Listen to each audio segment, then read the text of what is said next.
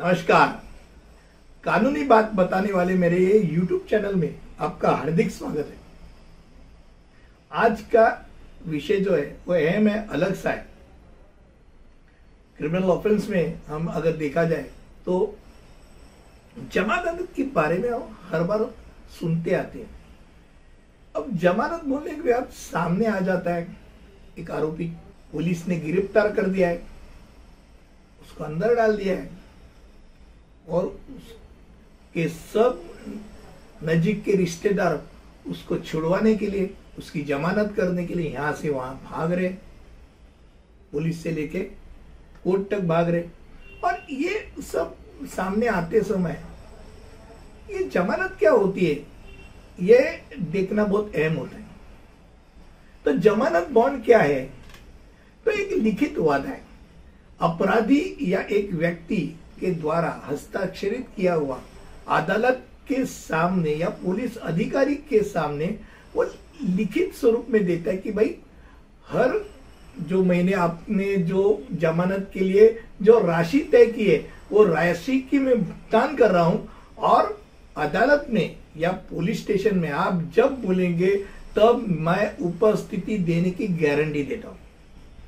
आसान शब्दों में, जमानत एक प्रक्रिया है जिसके द्वारा एक न्यायाधीश, यानी मैजिस्ट्रेट जमानत करता है, जिसके बाद कैदी को अंदर डालने की ज़रूरत नहीं, वो अदालत में आने के लिए उसको अवधि दिया जाता है, उपस्थिति सुनिश्चित होती है उसकी, और अगर वो नहीं आता है तो उसकी जो जमानत है, वो जमानत राशि जब्त कर जाती अगर वारंट है, वारंट में गिरफ्तारी है उसमें भी जमानत मिलती है। पर जमानत बॉन्ड है। और जमानत बॉन्ड देते समय एक दो तीन चीज़ बहुत अहम होती है। अब कौन सी बात अहम होती है, ये हम देखेंगे। पहली बात, कभी भी अगर जमानत के बारे में सोचना हो तो ये जमानत पात्र गुना है या जमानत पात्र गुना नहीं है, ये देखना बहुत अहम होता है। यानी बेलेबल ऑफेंस है या नॉन बेलेबल ऑफेंस है। जहाँ बेलेबल ऑफेंस है, यानी जमानत पात्र गुना है, वहाँ पुलिस ऑफिसर अपने पुलिस स्टेशन में उसकी जमानत राशि लेके उसको रिहा कर सकते हैं। जब जमानत पात्र गुना नहीं है नॉन बेलेबल ऑफेंस है, वहाँ पुलिस अधिकारी अपने अधिकार में उसको छुड़वा नहीं सकते हैं। मैजिस्ट्रेट के सामने लेके जाना पड़ता है और मैजिस्ट्रेट वो तय करता है जब उसके सामने पब्लिक पुलिस प्रोसिक्यूटर आता है, वो पुलिस प्रोसिक्यूटर बताता है कि भाई इसको अंदर रखने की क्या है जिम्मे, ज़रूरत क्या है? भाई पुलिस का तपास होना बाकी है। ये अगर बाहर रह गया तो तपास में बहुत कठिनाई आएगी और यहाँ से भी बोला जाता है कि भाई ज़रूरत नहीं अंदर रखने की, हम तो आने वाले तो जब वो मैजिस्ट्रेट तय करता है, देख के कि भाई क्या गुना है, इसके गंभीरता कितनी है? उसके आरोपी का पूर्व पीठिका क्या है? और उसका पुलिस से सहयोग कितना है? और जाँच के लिए सचमुच उसकी ज़रूरत है क्या अंदर रखने की? और ये तय करके, एक जमानत की राशि तय करके मैजिस्ट्रेट जमानत दे देता है। और जमानत देने के बाद, जमानत की राशि बताने के बाद, वो गिरफ़्तार हुआ आरोपी, यानी अपराधी को वो जमानत की राशि देनी पड़ती अब जब हम बोलते कि बॉन्ड बोलते हैं तब उसके नज़दीक के रिश्तेदार भी तो रिश्तेदार को वो राशि के अनुसार रिश्तेदार को भी कोर्ट में आना पड़ता है, रेशन कार्ड के साथ, आधार कार्ड के साथ, आय व्यय मीन्स इनकम टैक्स भरी हुई रिसिप्ट या तो उसकी सैलरी रिसिप्ट लेके वो आ जाता है। और वो भी ज़िम्मेदारी लेते हैं कि भाई साहब आएगा। अगर नहीं आएगा तो मैं भी जिम्मेदार हूँ। और वो जमानत राशि के इक्वलन उसकी ज़िम्मेदारी होती है भाई। बीस हज़ार का बॉन्ड है तो सैलरी से बीस हज़ार चला जाएगा। अगर वो नहीं आता है तो। इतना उसने याद रखना है। पर सच माना जाए तो एक अधिकार है। बिना कोर्ट की अनुमति पुलिस जमानत नहीं दे सकती अगर वो अजमीन पात्र गुना है। इतना दिमाग में रखे अलग अलग तौर पे, यानी मोटे तौर पे देखा जाए तो जमानत की तीन श्रेणियाँ होती। एक, जामीन पत्र अपराधों में जमानत। या मैंने पहले ही बता दिया कि पुलिस स्टेशन में पुलिस अधिकारी भी जमानत दे सकता है। दूसरा, गैर जमानती, यानी नॉन बेलेबल गैर जमानती अपराधों के मामले में जमानत। वो खास करके न्यायालय, यानी दंडाधिकारी के सामने होता है। फिर अग्रिम जमानत, जहाँ उसको ऐसा लगता है, अभी कुछ हुआ नहीं है, अग्रिम जमानत जो होती है, जो उसको लगता है कि मुझे गिरफ़्तार होने की आशंका है।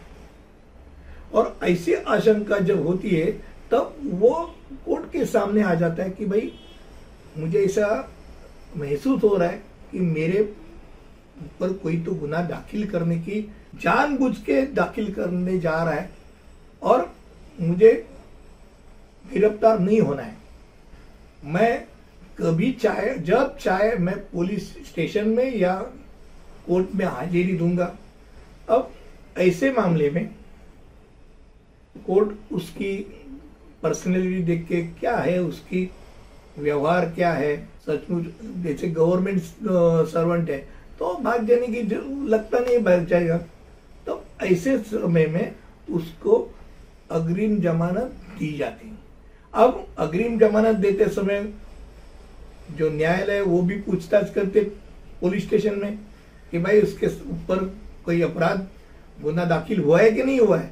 अगर नहीं हुआ है तो जो खारिज करते समय एक रियायत दे देती है कि भाई सेवेंटी टू आवर्स की हम आपको एक अवधि दे देंगे, जहाँ अब क्या होगा? आपको जमानत दाखिल करने के लिए एक अवधि मिलेगा। सेवेंटी टू आवर्स आपके ऊपर अगर गुना दाखिल होता है तो बहत्तर घंटा आपको अवधि दिया जाएगा। तब तक के लिए आपको अंदर नहीं डाला जाए। तो ऐसे अलग अलग विषय में देखा जाए तो जमानत कभी भी हम कर सकते जमानत कब करना चाहिए? कभी भी कर सकते हैं। अधिकारी के हिरासत में जब जो गिरफ़्तार हुआ आदमी है, उसने जब चाहे वो अर्जी कर सकते कि भाई मुझे अब रियायत चाहिए और मैं जमानत के लिए मैं अर्जी कर रहा हूँ।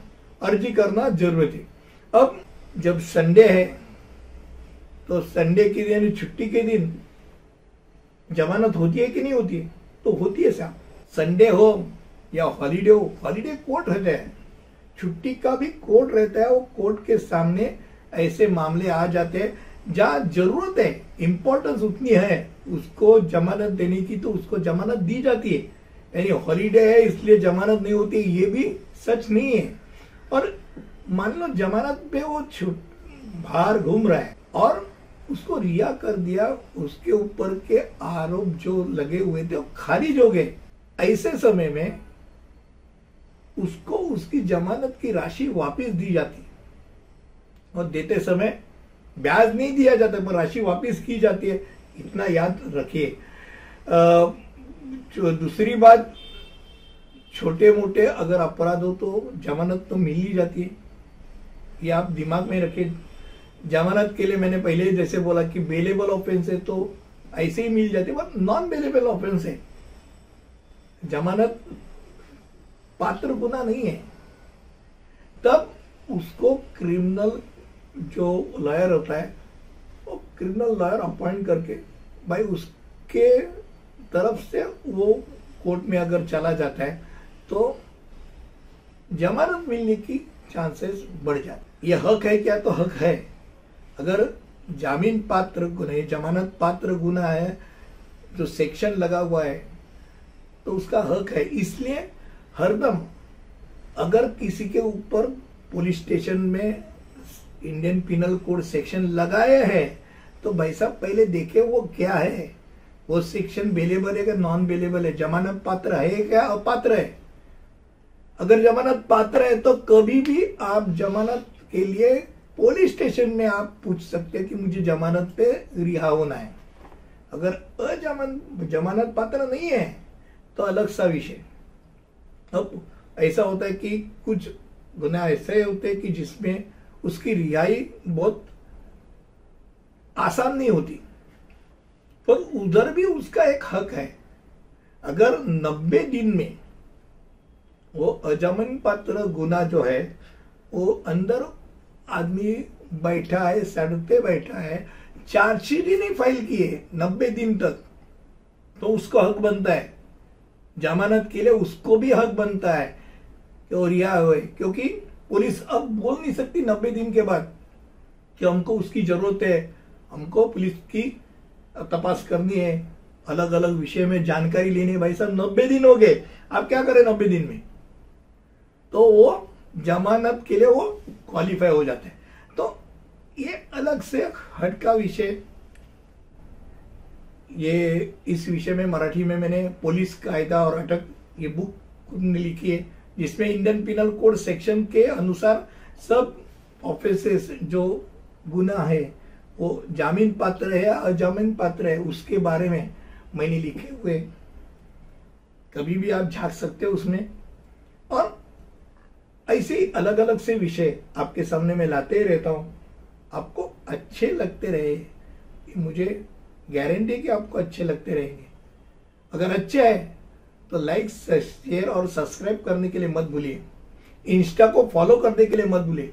कमेंट सेक्शन में कमेंट डाल के आपको अगर कुछ अलग सा विषय दिमाग में वो डालिए। और ऐसा ही अगला अच्छा वीडियो आने तक यहाँ ही हम रुकेंगे और इंतज़ार करेंगे अगला वीडियो का। तब तक के लिए धन्यवाद। शुक्रिया। जय हिंद।